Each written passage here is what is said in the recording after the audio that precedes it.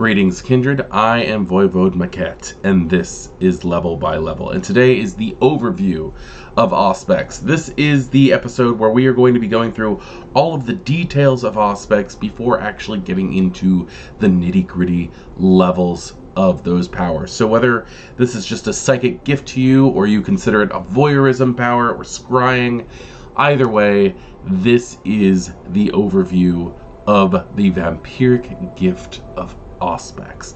Now, lots of clans practice this. This is a this is a, a power gifted to the Toreador and the Malkavians. This actually used to be a gift of the Tzimisce before 5th edition. They have been switched to using Dominate instead, which I am a fan of. I do like what the concept of Dominate is doing for the clan and what they are using it for.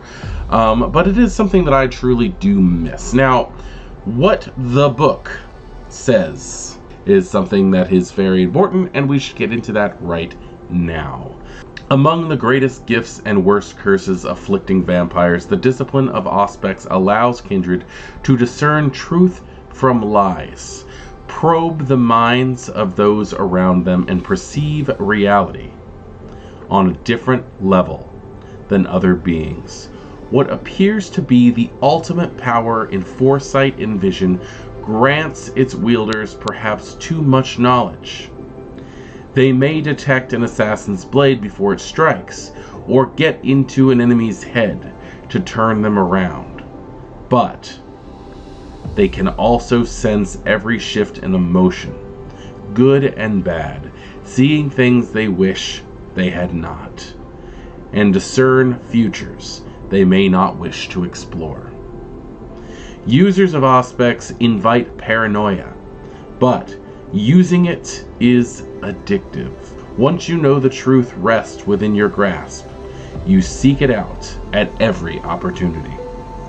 Kindred use Auspex in many ways. Some vampires act as spies for their courts or factions.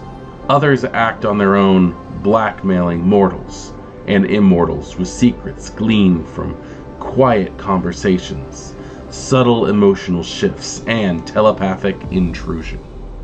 Auspex allows the user to play the role of domain detective, studying the scenes of a vampire's destruction for telltale spiritual clues, or interrogating suspects with unnatural accuracy. I, I love the fact that they call Auspex addictive because I can definitely see how it would be.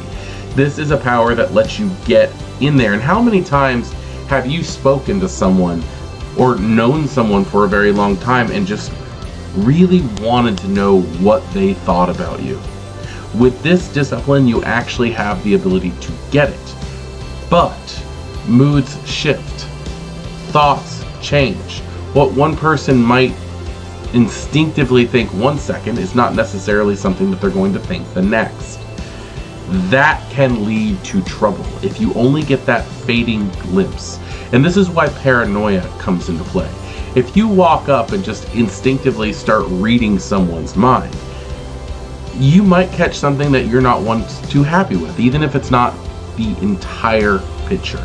There's so many different ways to utilize this discipline to completely get immersed in your surroundings further than any other kindred possibly could. Now, the characteristics of Auspex. Storytellers may wish to make Auspex rolls for characters in order to more convincingly provide wrong or incomplete answers after failed rolls. That is something I need to get into. The idea of rolling for Auspex for my players giving them the answers without telling them whether or not it's off so that they don't know. That really does seem like one of the best things. In fact, the more and more I read and familiarize myself with 5th edition texts, the more I actually think that the storyteller is best to roll most rolls, but specifically the perception rolls. Um, and Auspex is pretty much all perception. Now, this is a mental type discipline obviously. The masquerade threat is low. Auspex never by itself manifests in a way visible to the naked eye or causes effects that can be rationalized, if only as dumb luck. So there's not too much of a risk using this in public. You're not going to be caught using heightened senses. You're not going to be caught by humans reading minds. Not really not not by the mundane populace. And then there is our blood resonance. Phlegmatic. Artists, specifically photographers and visionaries, certain schizophrenics, users of psychoactive substances, and detectives. So it's everybody who has, for some reason, a need to have their mentality heightened, their awareness heightened in some fashion. I think it's very interesting that psychoactive substances in the blood can can uh, activate levels of Auspex, but that does also make sense considering the ability to activate certain receptors in the brain that are typically dormant unless prodded. But yes, that is auspex. That is Auspex in a nutshell.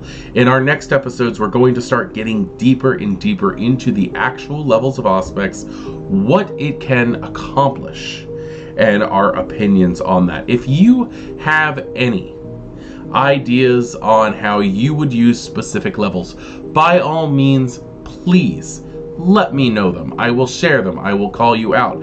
I want to know the nitty gritty aspects of what you have used this discipline for, storytellers or players alike, because other people who are just getting into this game want to have your experience. I will give mine, most definitely, but I'm very interested in knowing yours, and I'm sure other people's are too. I am Voivode Mekhet. This is Level by Level, and welcome to the introduction of Auspex. Class dismissed.